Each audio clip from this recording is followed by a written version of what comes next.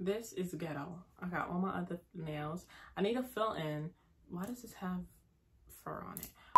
Hey guys, welcome back to my channel. And if you're new, welcome to my channel. It's Nicole for those who don't know. And for today's video, back to the sit down videos. My last two videos were like, we're in a sit down video, but this one is gonna be a sit down video. So as you can tell from the title, today is gonna be about Brazilian waxes. I mentioned every time I'm doing a video, there's always an interruption, so I'll wait.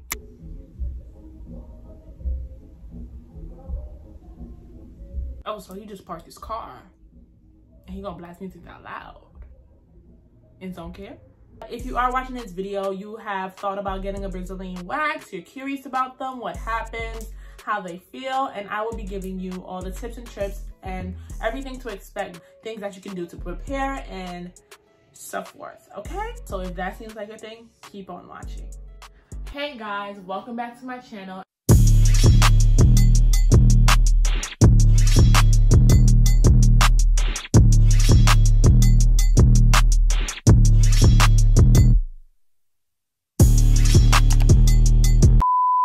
Now, with my experience with Brazilian waxes, I've been through a bit. I've been waxing for almost, I would say, mm, two years now. And it's the best decision I've ever made in my life. Everybody knows that hair down there grows as soon as you step out of the shower. You can just freshly shave and as soon as you step out you already feel the pricks if you are a shaver you know what i'm talking about i started to wax because i've always been curious about it but just scared to do it because i never really knew what to expect shaving just wasn't it for me like i couldn't deal with having to do extra care when it came to like razor bumps and discoloration and then the fear of cutting yourself and having to be in so many different positions and having to be in the shower for the longest periods of time. I wear wigs and I glue down my lace fronts. So being in a hot shower for more than an hour is not gonna work. My first tip is to find a reputable waxer. Finding a great waxer is a part of your experience and you do want your experience to be good. Like my waxer, her name is Kenya and Kenya, if you're watching this, I love you, girl. Like, I just feel comfortable with her and like it doesn't even feel like a wax appointment like she's like my waxer and my therapist all in one there are very famous wax chains waxing chains like european wax center unik wax and if you're in new york brazil's waxing center but i used to go to the one in new york and that's where i found my waxer she's now independent for a great place to start that is a great place to start for you just starting off with the chains would be good. I didn't have the most great experiences with the chains. With everything that occurs during your waxing appointment, you do need that extra little umph or that extra reassurance to come back. Really great waxer is going to make sure that you are up on the deets when it comes to your waxing. Make sure that you know every step of the process. Waxers that do put your comfortability, is that a word? That puts your comfort first are really great waxers to have. So make sure that you are finding a reputable and very accommodating waxer. I'm just gonna be 100% straight up with you. A wax does hurt. How much pain it brings you just depends on how high your pain threshold is. Like I can handle waxes, but cramps, I'm not doing it. Um, you could kill me for all that. Wax appointment or waxing can bring you a lot of discomfort aka pain. First time waxers, it may be a little more painful than it is for frequent waxers. Your skin or your hair isn't like used to being pulled like that and your follicles are stronger than ever. So with shaving, it doesn't really do anything to your hair follicles, but with waxing, it actually gets to the root and rips it out so that it over time damages it and allows the hair to grow back thinner or like grow back less the more frequent you wax if you get what I'm saying. Now you set your wax appointment, you know who you're going to, you know that, yeah, Shanice or Jane or Monica is gonna, you know, be the one handling you during your process. And you wanna know, what do I do before I go? First thing, please do not go in there with itty bitty hair or like itty bitty pricks thinking you're about to get waxed and everything's gonna come out. No, your hair has to be at least the size of a rice grain, like you know the little rice grains that you put in the pot to cook, you gotta make sure that your hair is that long before you even think about booking a, an appointment. shave, that should be like three to four weeks after your last shave and then you can go and get your wax and your hair should be long enough to get the wax. So now that your hair is long enough and you kind of look like you know, George of the Jungle down there. It's time to start with your prepping steps. So one great prepping step is to exfoliate, exfoliate, exfoliate, exfoliate. Whether that means using a scrub down there, not a scrub that you're not gonna be scrubbing your lips and your, you know, your inner parts and stuff like that, but just the skin around it. I think that's called your vulva. That place is called your vulva. You're gonna um scrub the skin outside there where like most of your hair grows and make sure that doesn't get in your hoo-ha. If you watch my hygiene video, you would know why that's a no-no. But getting a good scrub to exfoliate before your appointment allows for a better result when the waxer is done with you during your appointment. Next one is do not use any oils or any lotions in the area before you wax. It's best that you come freshly showered with no lotion or oils. Depending on what kind of wax you use, my wax uses hard wax so that is the wax that doesn't really tug on the skin and just adhere to the hair. If um, your waxer is using hard wax it won't allow that wax to grab onto the hair as it needs to. So just not using oils and not using lotions will avoid that and help you get a better result. Most of these steps are just steps in order to make sure that you're getting the best results just like the waxer got to do their job, you got to do your job as well. You have a job before and after the appointment, but we're going to get to that soon. But please, please, please do not use any numbing creams, any other things because, you know, it. first of all, it's just a waste of money because it doesn't work. And two, it can actually affect the work um, of the waxer being that it is, you know, a little lotion, a little oil, and won't allow the wax to adhere to the hair how it needs to. So yeah, depending on your pain threshold, you can take ibuprofen or like an aspirin or any pain medication in order to like lessen the pain for you. Like 30 minutes before your appointment, you could just pop one of those pillies and call it a day and see if that helps you. I know you want to look cute all day and stuff like that, but listen, your waxer doesn't care if you're wearing the latest Victoria's Secret panties out, the latest Savage X Fenty collection. She doesn't care. Nice breathable cotton underwear will be the best type of panties to wear after you get your wax they do apply products in order to make sure that you are like you aren't getting any ingrowns or you're not getting any you know type of bumps or just to calm down the skin down there. That is all of the tips that i have for before. Now we're gonna get into the low down dirty of what to expect. So you you're ready you're at the place you checked in you tell them yeah my appointment's at two o'clock you wait for your two o'clock appointment. Monica might be a little late but she she on her way. She on her way to you know fix you up so nine times out of 10, the people will ask you if you need to use the bathroom before. Your choice whether or not to use the bathroom, it doesn't really affect the service. But if you gotta pee, go pee. And if you don't gotta pee, don't go pee. Don't force it. They just asking you out of kindness just to make sure that you're comfortable and you know, all your fluids are gone. Your waxer is ready for you. She brings you to a room and she tells you get undressed from the waist down and nine times out of 10, she'll give you like a little wipe to freshen yourself up with. Roughly three to five minutes later, she'll knock on the door and be like, are you ready? And she'll come in with like a little waxing pan or there'll probably be one already in the room if the room is already set up. Let's just spill the tea here.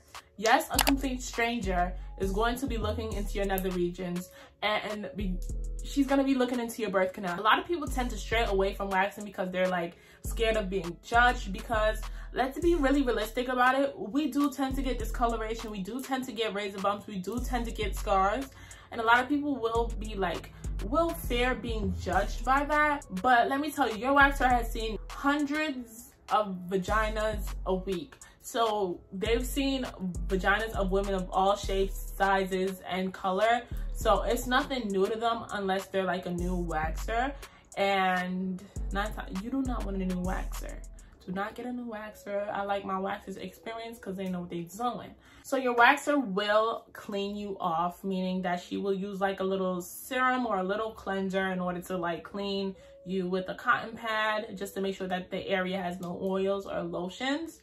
And then she's gonna probably sprinkle powder or something else to like dry out the area so that it's ready for waxing. Next thing that you will experience is a little bit of warmth and she's just gonna use like a little stick. The wax is on the stick and she'll go with the with it in the direction of the hair growth and then once it dries up she'll like rip it to like go again so that it's ripping all the hair out. And yes, that can bring a bit of discomfort, but listen, it's only 30 minutes of discomfort for, for, for two to three weeks of bareness. You know what I'm saying? I'd rather take that over shaving any other day. But do expect your waxer to get in certain folds. So for us, well, at least most women, we do grow hair like, you know that little flab? Like that. I don't know. It's like that. It closes like that and then like you pull it and it's like like a little bit of hair right there yeah so she's gonna have to pull that in order to get to the hair there. One thing that a waxer should do is always like make you aware of what she's going to do next. So if she tells you i'm just gonna have to pull this to get the hair right there at least she's warning you. And if you do not want her to do that that's perfectly fine. Just let her know that you don't want her to do that. And if she does try to shame you for not wanting to do that or not wanting to remove the hair in that area, then it's time for you to get a new waxer. So do expect your waxer to, you know, use her hands to get to all the areas where there is hair there. And if you don't feel comfortable, you just let her know and she should be perfectly fine with it. You will be asked to be in like different positions while you're waxing. So whether that's the butterfly, like if you're getting a Brazilian, that's from your, your front to your butt crack. So if you're getting a Brazilian, she's ready to do your butt, you'll probably be on your stomach, holding your butt cheeks, which is really awkward, but it gets all the hairs out. She'll probably ask you to do your knees to your chest, which is another way of making sure like all the hair in the under part of your, your whole region is hair free. After she's removed all the hair, she's going to apply a series of like oils or serums in order to make sure that you are good in that nether region. In order to make sure that you're not getting any irritation to calm the skin down because nine times out of ten you will experience i don't know what it's called but it's like little bumps on your skin from where the hair has been pulled out and it's just temporary. It's only there for like a couple hours or at least 24 hours and then it goes down once your skin has calmed down. After she's done she's applied all the serum. She's applied all of everything to calm your skin down. You're gonna get up. You're gonna get out of your seat. And your vaginal area is gonna feel like you've been ran over by a truck. But it's okay. It's only gonna feel like that for like a couple hours. I remember this one time i got a wax way before work and at work I had to stand like it was no stand and it was just so much like I just my it was just it was just so I was uncomfortable the whole time but I didn't let it show though because you know I ain't no weekend you know. I was hurting. So I wouldn't suggest you getting a wax before you have to go to work or before you have to do any like strenuous activity or activity where you have to move around because your vaginal area will hurt and you will feel it every step every stride you take every move you make, every breath you take, you will feel it. So for my first time waxers, you may not be as bare as you need to be or you want to be. Um, you may have like a little little itty bitty hairs coming through. That's normal. A lot of people expect like their first wax that, oh, I'm gonna be bare and it's not gonna grow for the rest of, you know, there are gonna be hairs that they can't get. And that is only because due to shaving, it doesn't get to the roots, it doesn't get to the follicles. So all of your hairs are going to be on different hair growth cycles from the sprouting to growth to the falling out of hair. And the more you wax, the more the your hair will adjust to one cycle. So that's why it's really great to not only wax once, but just consistently keep on waxing. Once you start waxing, you just got to keep on being consistent with it and you will see the results that you need to see or you want to see.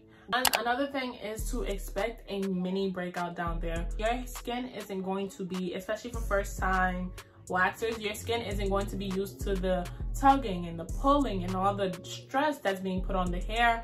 So you are going to, you know, get those little bumps, get those little breakouts. And I just want to give you like two little products that I really recommend for those and just two maintenance products so that I do not get any ingrown hairs, I don't get any razor bumps So I'm gonna go get them and I'm gonna be right back because I wasn't really planning to show you guys this, but since I'm making a video, I might as well show you guys, right? So in these products, you will see like a common ingredient and it's all just to make sure that everything is kept at bay, okay? The first day, I wouldn't recommend you to use any of these products, maybe the third or fourth day. And just wait until the skin calms down and you're not feeling sore and you know the skin has given itself some time to heal because waxing is a form of exfoliation as well, if you didn't know. So for my girls with discoloration, it's really a great thing for you. Yeah. Just putting all onto the tea. The first thing I like to use is the Tend Skin Solution. Um, listen, this has been around forever. I like this certain bottle because it's like a roll-on, so I can just like roll it on to the areas that I need. And this is roughly $12 so it's not expensive. Yeah, but I would recommend that you like test a little small area before you even think about using it. Because I don't want you coming back to me and telling me oh my skin was too sensitive and my skin reacted. So use like a little test patch and then after 24 hours if there's no reaction then you're free to use this. But i'm just showing you what works for me and probably will work for you. And whenever i use this i don't get no razor bumps no itching no no none of that. Because after waxing you can itch. It's it's it's normal. So another thing i don't know if you will be able to find this. It is a bit stained because i've had this for the it took me like a long time to finish this or like even get to where it is right now. It's the elate repair soothing serum. So this is the one that i'll put on at least like the second day because it's only a soothing serum. And this is basically alcohol again glycolic acid lactic acid willow bark extract salicylic acid glycerin and cellulose cellulose? Cellulose. It's really great for like repairing the area, making sure that you are getting the exfoliation you need, but not too much of an exfoliation where it can irritate again. Um, and it's not too drying because it does have glycerin and cellulose. I don't know how to pronounce it, but yeah, it has a lot of those ingredients. Um, get you some. Another product that I would use in order to like keep um like little bumps and stuff at bay because you know it's inevitable your skin is going through a lot of stress to keep bumps at bay are these two babies so this is the sephora salicylic clarifying serum.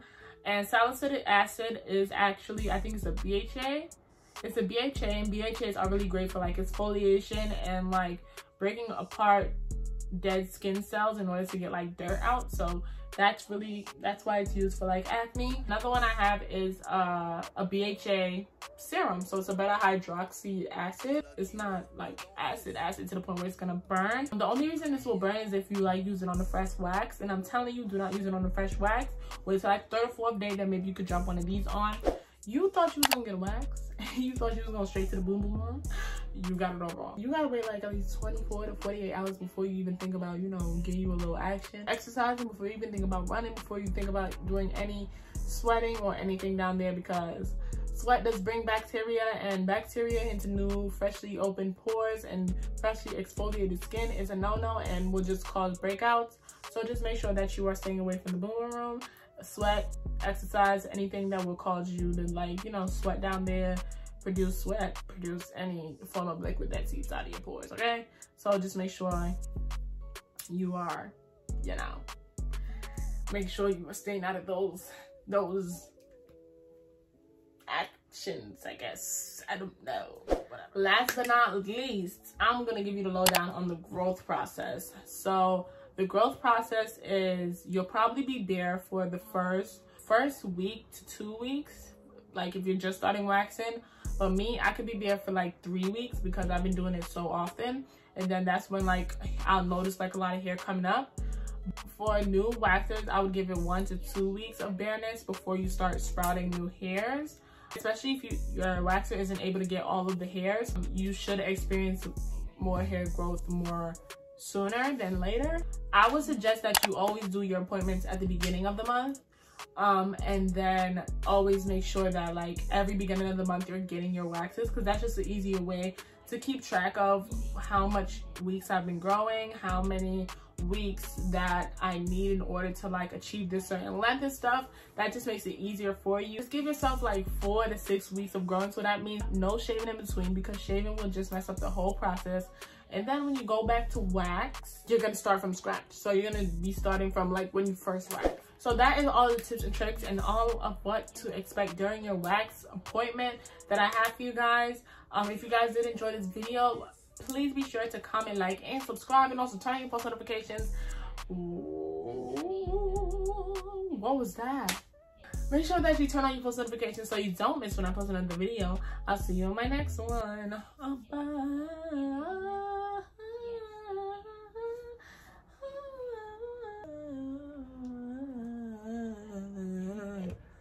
What was that? All right, bye, guys.